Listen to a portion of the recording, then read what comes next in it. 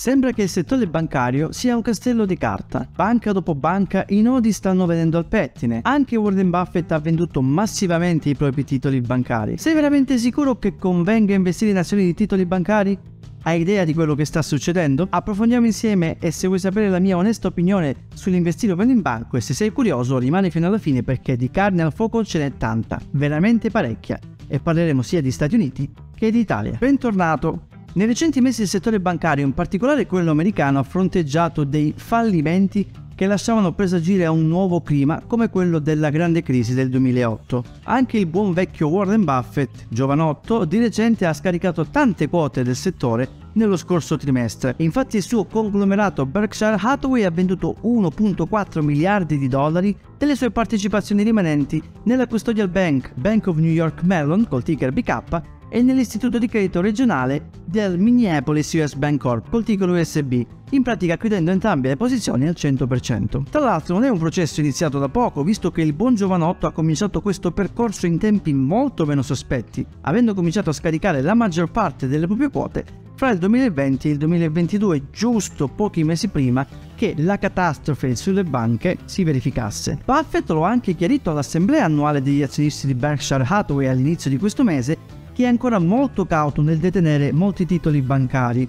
Una eccezione che ha citato e che comunque tutti un po' conosciamo è la Bank of America, che rimane una delle maggiori partecipazioni di Berkshire Hathaway. Nel primo trimestre Berkshire ha anzi aumentato le sue partecipazioni di Bank of America del 2%, nonostante il valore della sua posizione totale del titolo sia sceso di 4 miliardi durante il trimestre. Buffett inoltre aveva già finito di scaricare la sua storica posizione in Wells Fargo proprio nel 2022, banca che se la cava pessimamente, considerando che Wells Fargo ha accettato di pagare un miliardo di dollari, e non sono noccioline, per risolvere una causa che la accusa di aver frodato gli azionisti sui suoi progressi nel riprendersi da una serie di enormi scandali sul trattamento dei propri clienti. Wells Fargo, che trada col ticker WFC, opera dal 2018 sotto gli assoluti ordini del consenso della Federal Reserve e di altri due regolatori finanziari che richiedono che migliori la propria governance e la propria supervisione. Wells Fargo, la quarta più grande banca statunitense, è anche soggetta a un asset cap che da parte della Fed e che questo può ostacolare la sua capacità di competere con i rivali più grandi come JP Morgan Chase,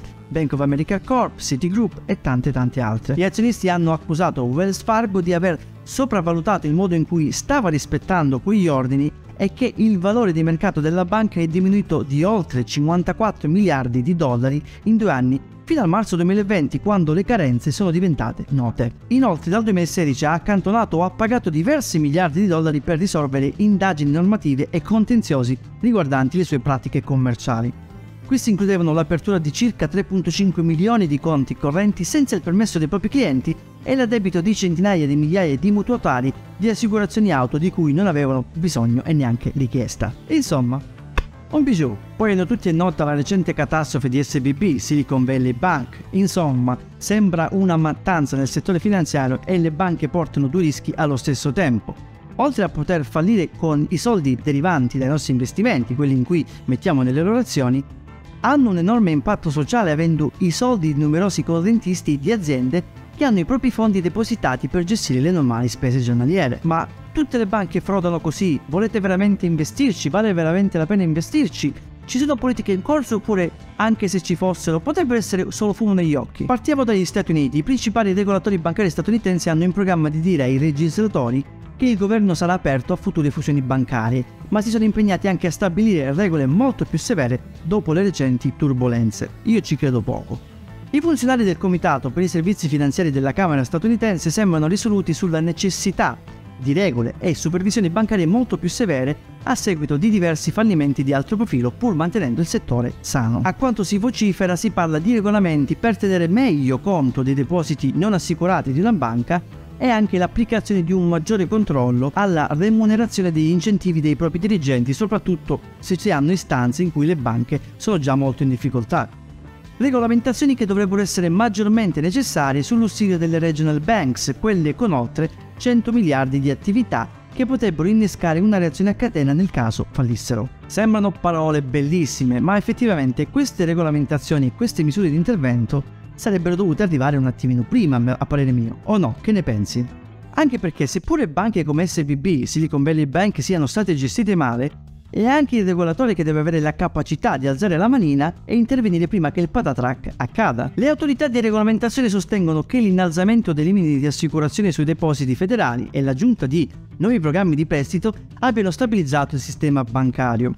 Dal punto di vista degli investitori americani, l'ETF Spider S&P Regional Banking col ticker KRE è sceso di quasi il 40% nelle ultime 10 settimane, compreso il calo del 14.7% che ha avuto da inizio maggio. Per la cronaca io non ero neanche minimamente a conoscenza di un ETF che seguisse le regional bank americane. Le piccole banche regionali sembrano infatti quelle molto più impattate. Lo ha detto anche Jamie Dimon, il CEO di JP Morgan, che sostiene che il governo americano dovrebbe intervenire per vietare gli short sulle azioni bancarie tra l'altro venendo seguito dopo questa dichiarazione a catena anche da diversi altri main players del settore bancario e dall'American Bankers Association che ha esortato le autorità di regolamentazione a indagare su un aumento spropositato delle vendite allo scoperto di azioni bancarie. Il settore ha diversi problemi a cui badare, deve affrontare lo stress dei tassi di interesse e di un'incombente scadenza del tetto del debito fra gli altri fattori, oltre a una possibile recessione che si presume arrivi a breve. Ma fino ad ora abbiamo parlato di Stati Uniti. E l'Italia? Qui da noi ci si aspetta un sostanzioso aumento dei crediti deteriorati nel 2023. I motivi possono essere vari, ma sicuramente il 2022 sta anche portando degli strascichi. Si tratterebbe di valori lontani dai picchi avuti una decina di anni fa, ma ci si aspetta comunque la metà di quei valori, all'incirca attorno al 3.8% di media di crediti deteriorati. Si tratterebbe di un problema di lieve entità, seppur in aumento con impatti relativamente irrisori, ma è pur sempre una problematica che si aggiunge a tutto il resto. La banca più impattata da questi crediti deteriorati dovrebbe essere MPS, il Monte dei Paschi di Siena, come sempre tra l'altro. Sembra la telenovela di Beautiful con i Monte dei Paschi di Siena. In ogni caso, a parte questo trono di spade di MPS, il nostro sistema bancario sembra tenere, così pare, dove le grandi banche hanno valori molto più bassi rispetto alle attese, con Fineco che è addirittura sotto l'1%, ma anche grandi nomi come Intesa San Paolo o Unicredit si fermano a dei valori standard molto bassi, ad esempio Intesa sta attorno all'1.3%. A questo punto ci si dovrebbe chiedere se veramente si dovrebbe investire nelle azioni bancarie. Per la cronaca, prima di dover scaricare la mia posizione per noti problemi personali, ero azionista di Bank of Nova Scotia, una delle Big Five canadesi. Per cui a mio parere in generale più grande è la banca e meno ci saranno possibilità, anzi ci dovrebbero essere meno possibilità affinché un governo faccia fallire senza muovere un dito una banca di questa portata. In Italia penso ad esempio Intesa San Paolo oppure Unicredit.